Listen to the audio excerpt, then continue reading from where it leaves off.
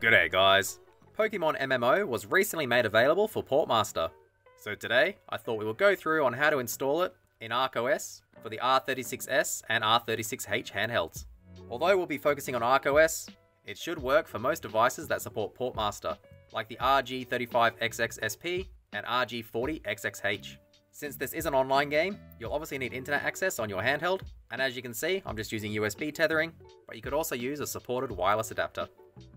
Let's get into it.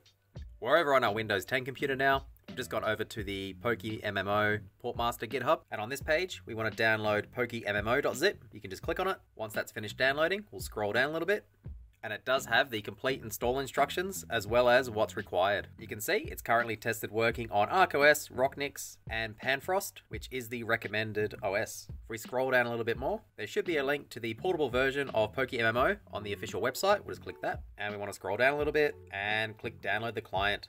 They are the two main files that we'll need to download, but you'll also need to have your own copies of Pokemon Black, Emerald, Fire Red, Platinum, and Heart Gold. Also, if you haven't already created an account with PokeMMO, you can do so on this page. You will need a valid email address, as it will send you a verification code the first time you log in on a new device. Once everything's finished, we can close off Chrome and open up our downloads folder. Inside, we should have our ROMs, the PokeMMO Portmaster zip, and the PokeMMO portable client. We'll extract both of the zip files to this folder. You can just right click and go to extract here.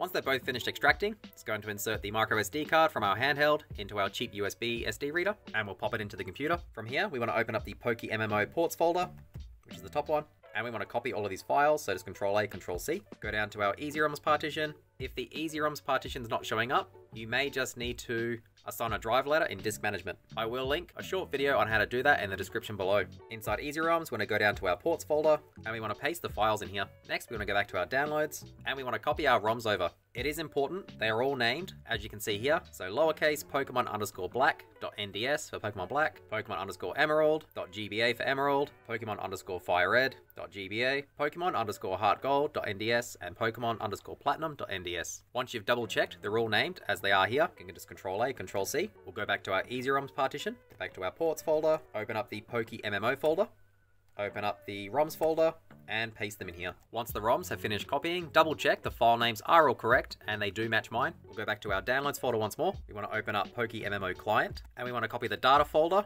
and the PokeMMO.exe file. So with both of those selected, press Ctrl C. Once more, going back to our EasyROMs partition, going down to ports, opening up the PokeMMO folder, and we want to paste the data folder and the exe in here. If it asks you if you want to replace any files, make sure you click skip these files. There's one last step we have to do on the computer, and that's opening up the credentials.txt file. Just double click on it. Inside it should say username and password. Here, you replace the word username with your PokeMMO username, and obviously replace password with your PokeMMO password. With your details entered, you can save this file by pressing Ctrl S or going File Save and close it off. From here, we'll safely eject our SD card and put it back into our R36S.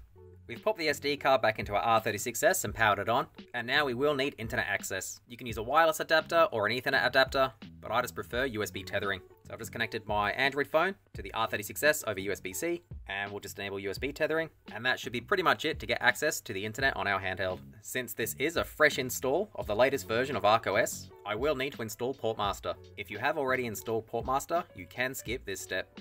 It's going up to Options, go down to Tools, and go down to Portmaster. If it asks you to update, click Yes. Once it closes, we want to go back to Tools and open up Portmaster once more. If it asks you if you want to upgrade, press A. Once it says installed successfully, press A. You should hopefully get to the disclaimer, wait the 15 seconds, and then press A to accept. With Portmaster installed, we can just go down to Exit and click A. With that done, we can press B to go back to the main menu, go to our ports folder. The first time you run it, you are going to want to load PokeMMO GP to Kibi2. The first time you run it, you'll have a blinking cursor for around a minute, and then you'll have a black screen for around 30 seconds. Don't panic and don't press anything, just be patient. After a little under 2 minutes, you should finally get to the PokeMMO logo. From here, it's around another 30 second wait, and then it should finally start its initial setup. Eventually, you should get to the language select screen. You can use the right joypad to move the mouse cursor around, and press R1 for a mouse click. For me, I'll be using English, so I'll click unselect all, and click OK. And we're at the login screen. Your username and password should already be saved from the credentials file we edited earlier. Make sure you use the right joystick to go down to remember me, and press R1 to click, and click login.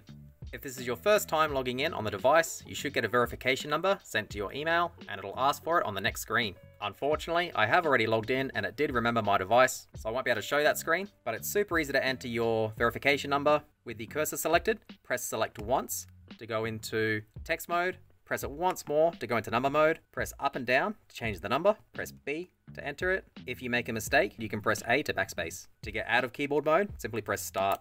Once you've entered the verification code, you can just go up to login, select your character, and we're inside the game. Use the D-pad and A, B, X, and Y buttons, mainly A. We've entered a battle. There we go.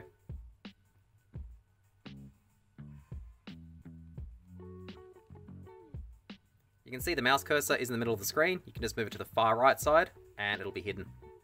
So we'll go fight. So B is okay and B again to scratch.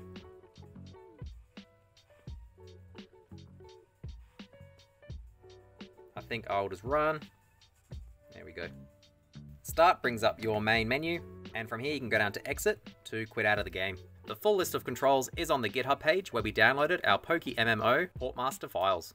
We'll exit out, go down to yes. Thankfully, once it's initially been set up and you've logged in and verified the device, the next time you run PokeMMO from ports, it should go directly to the login screen. It is also much faster to load, taking only around 30 seconds. The game itself runs okay. There are some little lag spikes every now and then, but it's definitely still playable.